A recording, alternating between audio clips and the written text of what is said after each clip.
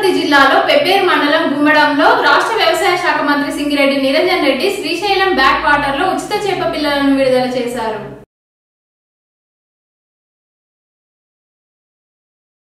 అవసరమైనటువంటి మౌలిక వసతులు రోడ్లు కానీ ఇవన్నీ కూడా చేసుకొని ప్రతి గ్రామంలో కూడా ఒక ప్రకృతి వనాన్ని ఏర్పాటు చేసుకొని డంపింగ్ యార్డ్ ఏర్పాటు చేసుకొని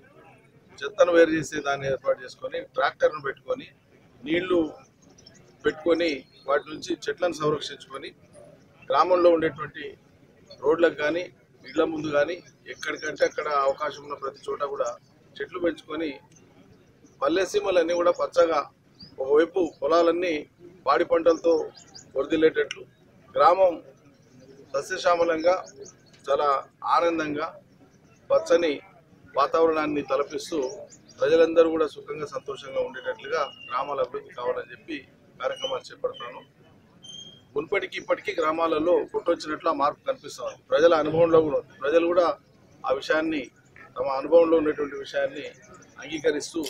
ఇంకా మేమంతా సమిష్టిగా ముందుకు పోయి మా గ్రామాలు బాగా చేసుకుంటాం అనేటువంటి మాట ప్రజలు కూడా మాట్లాడుతూ ఉన్నారు ఇక్కడికక్కడ